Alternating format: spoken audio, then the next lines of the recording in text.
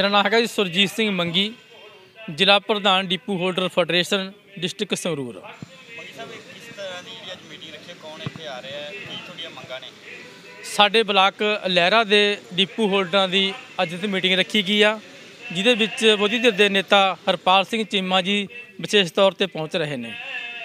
ਸੋ ਜਿਹੜੀ ਹਾਕਮ ਧਿਰ ਕਾਂਗਰਸ ਸਰਕਾਰ ਨੇ ਚੋਣ ਮੈਨੀਫੈਸਟੋ ਵਿੱਚ ਜਿਹੜਾ ਸਾਡੇ ਨਾਲ ਵਾਅਦਾ ਕੀਤਾ ਸੀ, ਮਨਪ੍ਰੀਤ ਬਾਦਲ ਨੇ ਸੋ ਉਹ ਵਾਅਦਾ ਸਾਡੇ ਨਾਲ ਅੱਜ ਤੱਕ ਪੂਰਾ ਨਹੀਂ ਕੀਤਾ ਗਿਆ ਜਿਸ ਦੀਆਂ ਮੁਸ਼ਕਲਾਂ ਦੱਸਣ ਲਈ ਅਸੀਂ ਹਰਪਾਲ ਸਿੰਘ ਚੀਮਾ ਨੂੰ ਆਪਣਾ ਮੰਗ ਪੱਤਰ ਦੇਵਾਂਗੇ।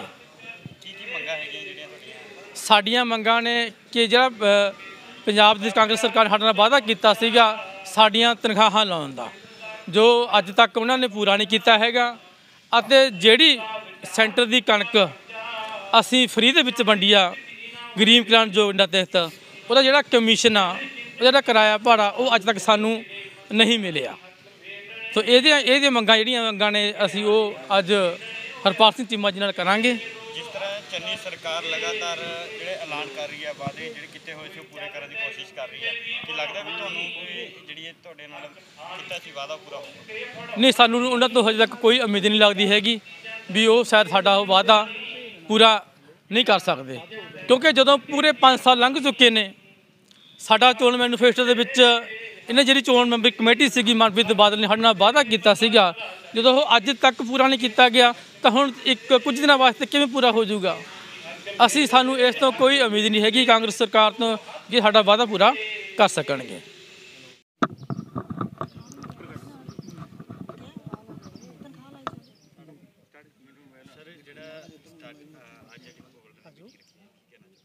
ਦੇਖੋ, ਅੱਜ ਪੂਰੇ ਪੰਜਾਬ ਦੇ ਵਿੱਚ ਡਿਪੂ ਹੋਲਡਰਾਂ ਦੀ ਜਿਹੜੀ ਕਮਿਸ਼ਨ ਪੈਂਡਿੰਗ ਪਿਆਗਾ, ਲਗਭਗ 1 ਸਾਲ ਤੋਂ ਉੱਪਰ ਦਾ ਸਮਾਂ ਹੋ ਗਿਆ। ਪੰਜਾਬ ਸਰਕਾਰ ਨੇ ਕਮਿਸ਼ਨ ਜਿਹੜਾ ਹੈਗਾ, ਉਹ ਨਹੀਂ ਦਿੱਤਾ ਔਰ ਡਿਪੂ ਹੋਲਡਰ ਅੱਜ ਬਹੁਤ ਪਰੇਸ਼ਾਨ ਨੇ ਕਿ ਅੱਜ ਹਲਕਾ ਦੜਵਾ ਤੇ ਲਹਿਰਾ ਦੀ ਮੀਟਿੰਗ ਸੀ, ਸਾਰੇ ਡਿਪੂ ਹੋਲਡਰ ਇਕੱਠੇ ਹੋਏ ਨੇ ਕਿ ਇਹਨਾਂ ਨੇ ਮੰਗ ਪੱਤਰ ਦਿੱਤਾਗਾ ਔਰ ਪੰਜਾਬ ਸਰਕਾਰ ਨੂੰ ਜਗਾਵਾਂਗੇ। ਚੰਨੀ ਸਾਹਿਬ ਐਲਾਨ ਕਰਨ ਦੇ ਮਾਹਰ ਨੇ, ਪਰ ਐਲਾਨ ਲਾਗੂ ਨਹੀਂ ਹੁੰਦੇ ਹੈਗੇ। ਮੇਰੀ ਚੰਨੀ ਸਾਹਿਬ ਨੂੰ ਬੇਨਤੀ ਹੈ ਕਿ ਜਿਹੜੇ ਜਿਹੜੇ ਡਿਪੂ ਹੋਲਡਰ ਹਰੇਕ ਮਹੀਨੇ ਸਰਕਾਰ ਦੀਆਂ ਪਬਲਿਕ ਡਿਸਟ੍ਰੀਬਿਊਸ਼ਨ ਸਕੀਮਾਂ ਹਰੇਕ ਘਰ 'ਚ ਪਹੁੰਚਾਉਂਦੇ ਨੇਗੇ, ਹਰੇਕ ਘਰ ਦਾ ਪੇਟ ਪਾਲਣ ਦੇ ਸਭ ਤੋਂ ਵੱਧ ਸਹਾਈ ਹੁੰਦੇ ਨੇਗੇ, ਸੋ ਉਹਨਾਂ ਦਾ ਬਣਦਾ ਕਮਿਸ਼ਨ, ਬਣਦੀਆਂ ਜਿਹੜੀਆਂ ਸਹੂਲਤਾਂ ਨੇ ਉਹ ਤੁਰੰਤ ਦਿੱਤੀਆਂ ਜਾਣ। ਇਹਨਾਂ ਚੋਣ ਮੈਨੀਫੈਸਟੋ ਦੇ ਵਿੱਚ ਵੀ ਵਾਅਦੇ ਕਰੇ ਸੀ ਇਹਨਾਂ ਦੇ ਬਿਲਕੁਲ, ਚੋਣ ਮੈਨੀਫੈਸਟੋ ਦੇ ਵਿੱਚ ਕਾਂਗਰਸ ਪਾਰਟੀ ਨੇ ਵਾਅਦਾ ਕੀਤਾ ਸੀਗਾ ਕਿ ਡਿਪੂ ਹੋਲਡਰਾਂ ਨੂੰ ਬਣਦਾ ਕਮਿਸ਼ਨ ਦੇਵਾਂਗੇ ਔਰ ਕਮਿਸ਼ਨ ਦੀ ਜਿਹੜੀ ਰਾਸ਼ੀ ਆ ਉਹ ਵਧਾਈ ਜਾਊਗੀ। ਕਮਿਸ਼ਨ ਦੀ ਰਾਸ਼ੀ ਵਧਾਈ ਜਾਊਗੀ। ਰਾਸ਼ੀ ਤਾਂ ਕੀ ਵਧਾਉਣੀ ਸੀ?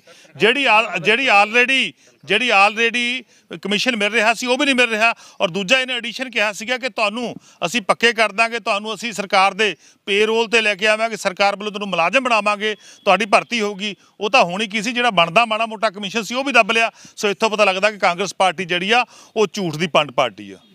ਸੈਂਟਰ ਸਰਕਾਰ ਜੀ 22% ਸਾਡਾ ਹੱਕ ਵੀ ਖਾ ਰਹੀ ਹੈ ਬਿਲਕੁਲ, ਆਮ ਆਦਮੀ ਪਾਰਟੀ ਦੀ ਸਰਕਾਰ ਆਉਣ ਤੇ ਆਮ ਆਦਮੀ ਪਾਰਟੀ ਜਿੰਨੀਆਂ ਵੀ ਸਹੂਲਤਾਂ ਚੱਲਦੀਆਂ ਨੇਗੀਆਂ, ਉਹਨਾਂ ਸਾਰੀਆਂ ਸਹੂਲਤਾਂ ਵੱਲ ਧਿਆਨ ਦੇਵਾਂਗੇ। 100% ਇਹਨਾਂ ਦਾ ਜਿਹੜਾ ਹੱਕ ਹੈਗਾ, ਜਿਹੜੀਆਂ ਮੰਗਾਂ ਨੇਗੀਆਂ, ਉਹ 100% ਮੰਗਾਂਗੇ ਬੜੀ ਜਲਦੀ। ਸਾਰੇ ਡਿਪੂ ਹੋਲਡਰਾਂ ਦਾ ਪੰਜਾਬ ਦੇ ਨਾਲ ਇਕੱਠ ਕਰਕੇ ਇਹਨਾਂ ਦੇ ਨਾਲ ਅਸੀਂ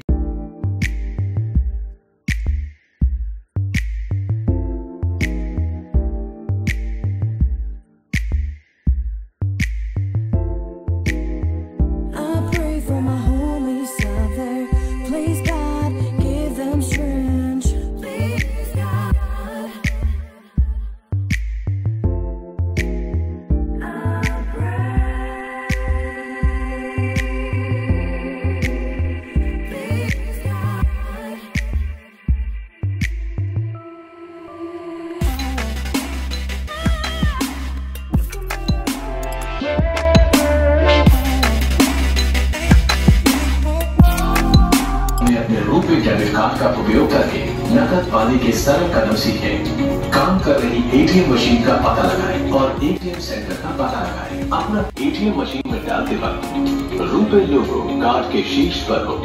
और यदि आप अपना कार्ड फ्लिप करते हो, करने के लिए स्क्रीन विकल्पों की श्रृंखला प्रदर्शित करेगा। यदि आप नकद निकालना चाहते हैं तो नकदी निकालने के विकल्प का दबाएँ। फिर एटीएम मशीन आपको लेन देन पर्ची की हार्ड कॉपी के लिए पूछेगी। अपनी इच्छा के अनुसार हाँ या ना का को चुनना होगा बाहर निकलने के लिए बाहर निकले दबाएं और अगर ये एक मोटराइज्ड कार स्लॉट है